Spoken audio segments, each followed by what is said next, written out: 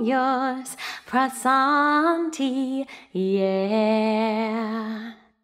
One happy birthday dot com.